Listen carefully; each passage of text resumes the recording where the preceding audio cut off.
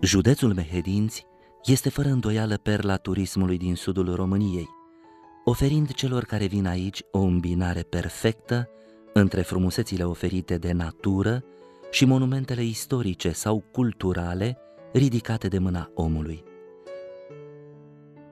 Este locul unde Dunărea își croiește cu strășnicie drum prin străpungerea munților.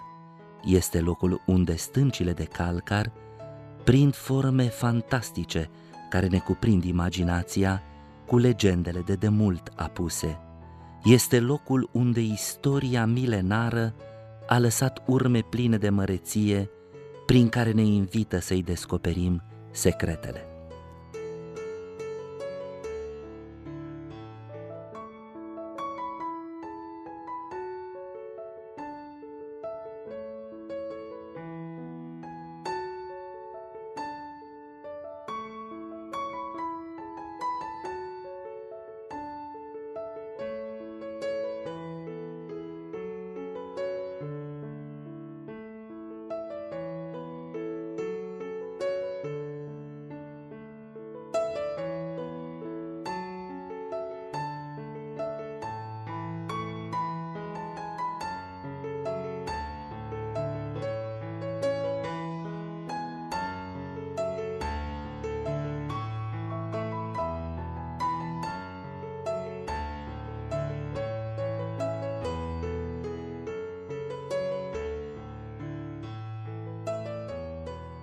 Un loc plin de istorie, de credință și de artă. Mănăstirea Strehaia. Un loc aflat uh, la jumătatea dintre Cetatea Banilor, Craiova, și Cetatea Severinului. Un loc unde marele domnitor Mihai Viteazu, cu multă dragoste a venit și a poposit de fiecare dată aici. Mănăstirea Sfânta Treime din Strehaia este ctitorie a voievodului Matei Basarab din anul 1645. Ea face parte dintr-un uh, sistem de mănăstiri fortificate pe care voievodul uh, Matei Basarab l-a conceput în apărarea țării românești, având în vedere că în acea epocă exista un uh, acord cu Imperiul Otoman, prin care nu se puteau face, uh, nu se puteau construi cetăți aproape de linia Dunării. Prin urmare, uh, voievodul a găsit un, uh, un compromis prin care a făcut mai multe mănăstiri fortificate.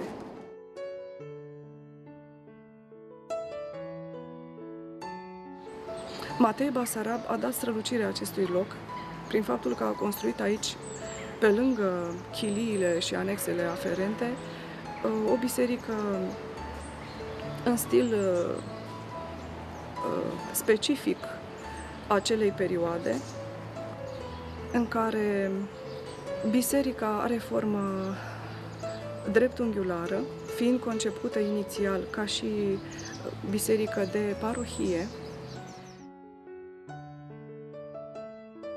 La 1645, Matei Basarab reușește să picteze biserica pe dinăuntru, pictură care încă se mai păstrează pe unele locuri și se poate vedea la o restaurare care e prima restaurare după 200 de ani a bisericii. Au fost multe legende care au circulat în jurul mănăstirii Strehaia multe dintre ele adevărate, unele care și astăzi răzbesc și cu siguranță vor fi duse peste veacuri mai departe. Îmi place una dintre ele mai mult ca celelalte, și anume aceea a luminii pe care Dumnezeu o trimite fiilor săi, credincioșilor săi. Biserica Mănăstirii Strehaia are o particularitate. Este singura mănăstire ortodoxă din România care nu are altarul așezat către răsărit. Multe sunt explicațiile pentru această așezare, însă una dintre ele vorbește despre lumina despre care pomeneam mai înainte, și anume că pe 22 decembrie, când are loc solstițiu de iarnă, între orele 8 și 9, în zilele când este lumină, razele soarelui despart biserica în două. Biserica mai are o particularitate. Ea este în formă de navă, iar turnul dreptunghiular care este așezat pe pronaos este asemănător acestei corăbii care are un catarg puternic. Pomeneam că sunt multe legendele care au circulat și încă unele răzbesc peste veacuri, însă cred că aceasta a luminii care intră prin fereastra Sfântului Altar este una care ne încarcă pe noi, cei care astăzi suntem căutători de pace, de bucurie, de liniște și de lumină.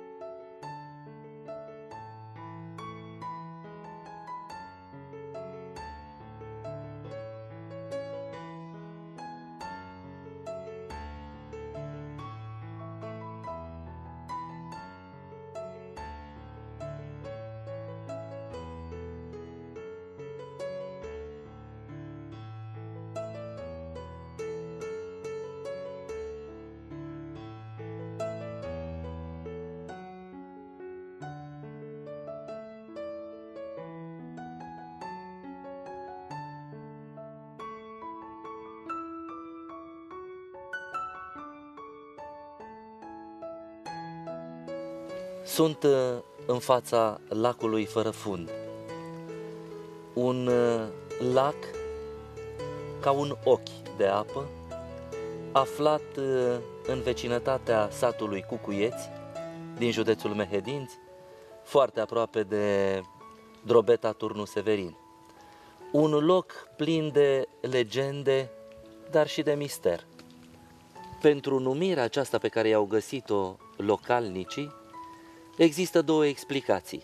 Prima ar fi că fundul lacului ar fi sub nivelul Dunării, motiv pentru care nu ar seca niciodată. Cel de-al doilea, puțin mai greu de crezut, face referire la faptul că localnicii spun că el ar comunica cu centrul pământului, cu fundul pământului, motiv pentru care nu seacă niciodată. Când eram copil, veneam cu vasile pe aceea, o dată de două ori veneam cu copii și ne jucăm. Dam drumul la vasi, asta era balta, măsuram și noi pe lături, că ce ai bătrâni, să nu vă băgați în baltă că vă necați. De aici se poate dobori, nu mai este drum. Doboram cu vitele, urcam cu vitele pe jos și veneam cu ele la balta molanelor.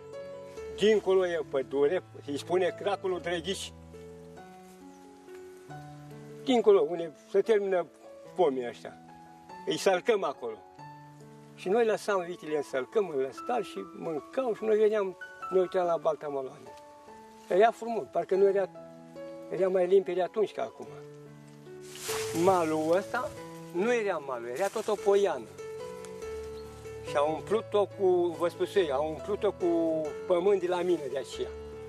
A pus. Mai era, ce vă spun, cât? 4 metri, 5 metri în diametru mai era. Nu seacă, niciodată nu va se, n-a secat. A cărat de la mine, de aici, că e aproape mine, văzut? Aici era împrejurată și era mai mică ca acum. Era mai mică. Nu mai avea decât o porțiune de apă să vedea. Încă nu se mai vedea.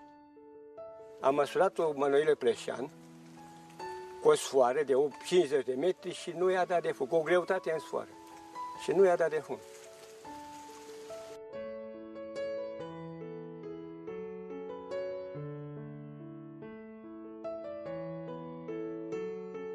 O legendă locală spune că o tânără fată a fost bat jocorită, iar pentru acest fapt ea s-a aruncat în lacul fără fund și de aceea zona întreagă este bântuită. Localnicii își amintesc de legenda aceasta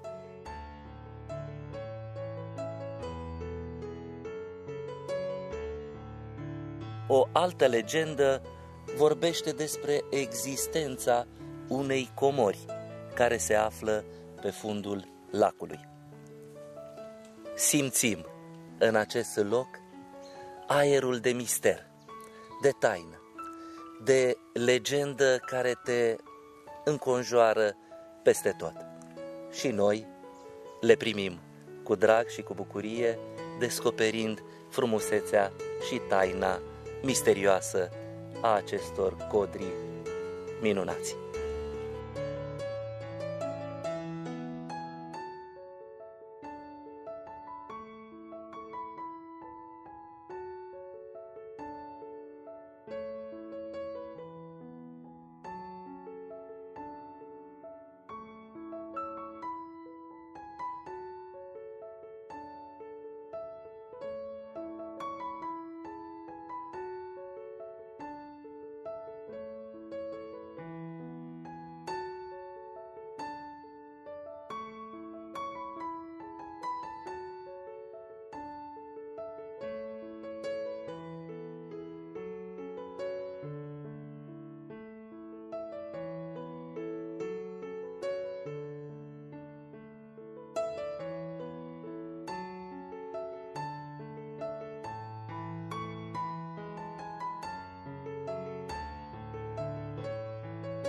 Sfântul Nicodim se naște într-o familie vlahă din Serbia.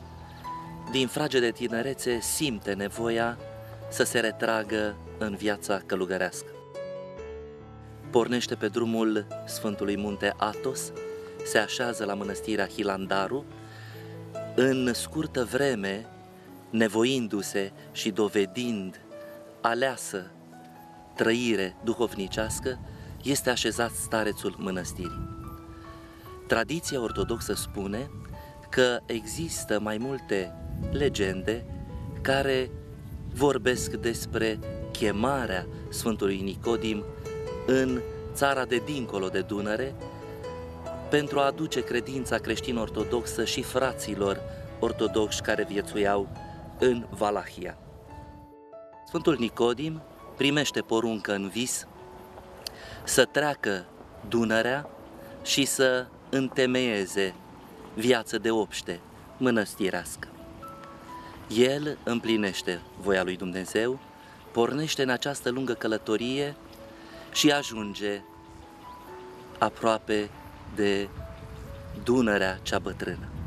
Se așează la umbra unui pom, parcă pentru o vreme uitând motivul pentru care se afla acolo spune legenda că s-a trezit ca din somn speriat, auzind din nou glasul acela dumnezeiesc, care îi spune, Nicodime, sper că nu ai uitat de mine, împlinește voia mea.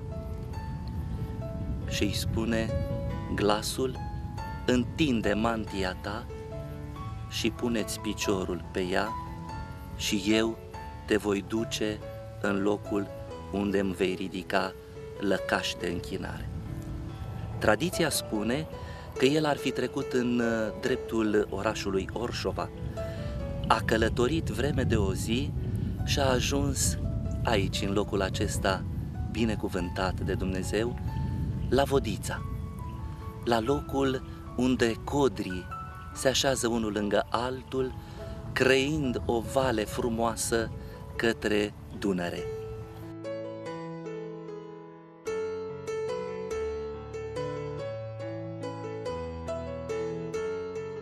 Vremurile n-au fost tocmai plăcute și dulci și bune cu acest locaș de spiritualitate, pentru că mănăstirea se închide, intră într-o degradare profundă, astăzi de la vechea mănăstire a Sfântului Nicodim, biserica care i-a adunat pe toți frații creștini ortodoxi din Valahia, au rămas doar zidurile care se pot vedea. Însă, din inițiativa mitropolitului Nestor Vornicescu, în anul 1990 ia ființă la Drobeta Turnu Severin Societatea Vodița. Între anii 1991 și 1995 sunt construite chiliile, trapeza, iar din 1995 până în anul 2001 este construită biserica în stil maramureșan care se poate vedea și astăzi.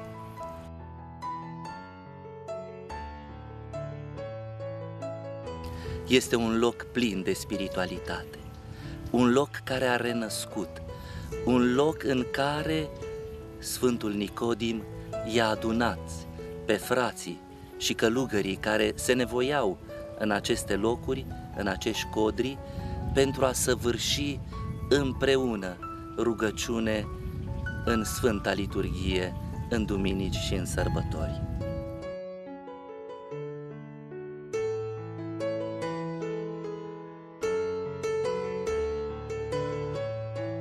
Legenda Sfântului Nicodim, cel sfințit, continuă.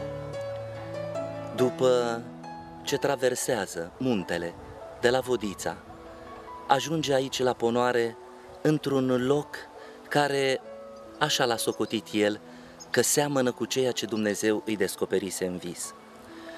Oamenii locului însă nu l-au primit cu bucurie. Au fost îndărătnici și s-au gândit că din puținul lor vor trebui să dea Sfântului pentru a ridica locaș de închinare lui Dumnezeu.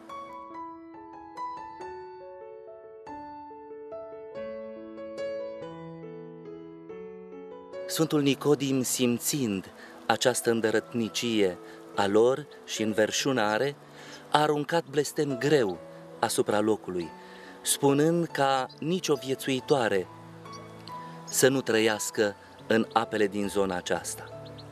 Blestemul acesta greu a fost ridicat după 600 de ani, atunci când s-a pus piatră de temelie pentru biserica actuală din acest loc de pace și spiritualitate ortodoxă. Sfântul Nicodim de aici pornește către Tismana, căutând să ducă la bun sfârșit misiunea pe care o primise în vis de la Dumnezeu. Aici va ridica actitorie minunată. Astăzi, Sfântul Nicodim este socotit și cinstit ca primul ocrotitor al Olteniei.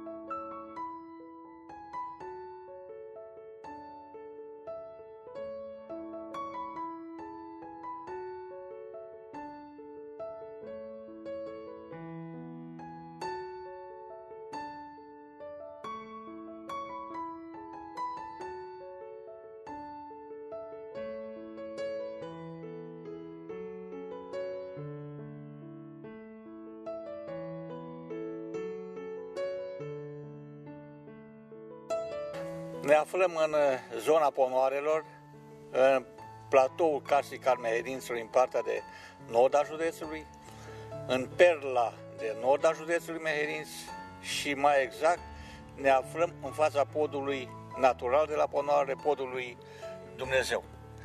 Uh, zona Ponoarelor are peste 120 de hectare de arii protejate și în această zonă uh, Dumnezeu a creat unicate.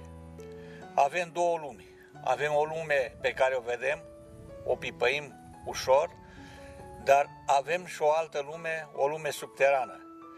În zonă s-au creat adevărate atracții turistice, uh, obiective de interes național și european. Aș aminti mai întâi podul lui Dumnezeu. E interesant că acest pod este format prin prăbușirea tavanului peșterii în timpuri imemorabile, dar orice loc are nevoie de o explicație. Și așa au apărut numeroase legende legate de pod. Româncile noastre sunt frumoase, fetele noastre toate au fost frumoase și sigur că ele erau răpite și de balauri. Voinicul Iovan Iorgovan, care locuia pe Valea Cernei, a fost dezamăgit că iubita lui a fost răpită și atunci Iovan Iorgovan, supărat, a rupt o stâncă din vârful Oslea și a aruncat-o să-l prindă pe balaur. Nu l-a nimerit pe balaur și stânca a picat deasupra peșterii. Și așa s-a prăbușit tavanul. Mai e încă o legendă că la orice întuneric șade dracu, diavolul, care nu face bine. Oamenii l-au rugat pe Dumnezeu să coboare și să-l arunce pe drac. Dumnezeu a coborât și cu mâna sfântă a apăsat tavanul peșterii, să-l prinde pe drac. Nu l-a prins. Dracul drac. S-a strecurat prin peșteră, a ieșit în partea cealaltă a peșterii, supărat că a fost alungat, a zgâriat toate stâncile din partea cealaltă și a făcut două câmpuri de la piezuri, câmpul Cleopatrei și câmpul Afroditei. Nu mai e nevoie de niciun fel de explicație că denumirea dată de către specialiști acestor flori, așa, de piatră, explică totul. Dumnezeu a rămas în stăpânire cu podul.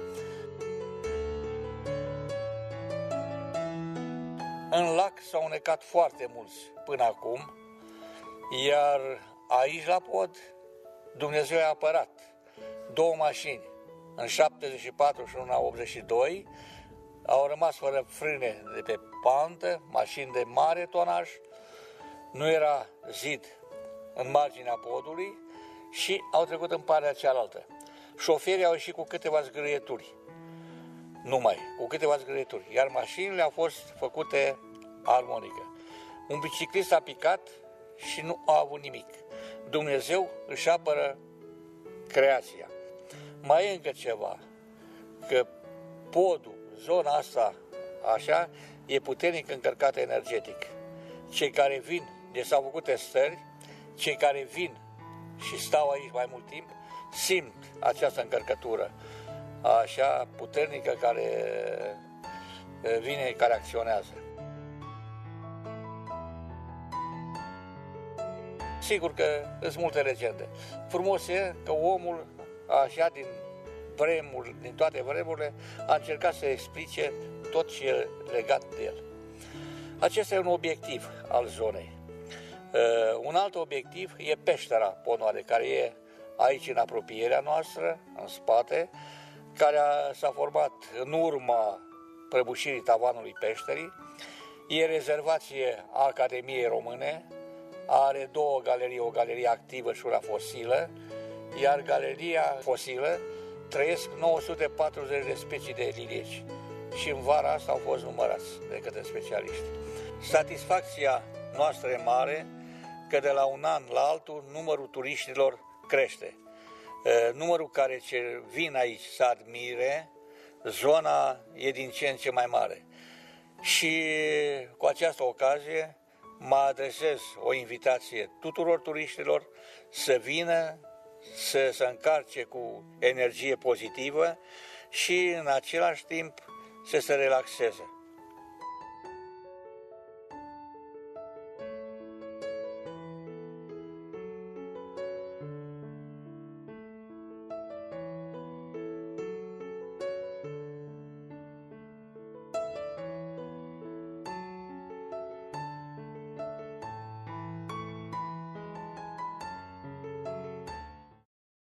Proiectul Legendele, o cale pentru destinații turistice mai atractive, este cofinanțat de Uniunea Europeană prin Fondul European pentru Dezvoltare Regională în cadrul programului Interreg 5A România-Bulgaria.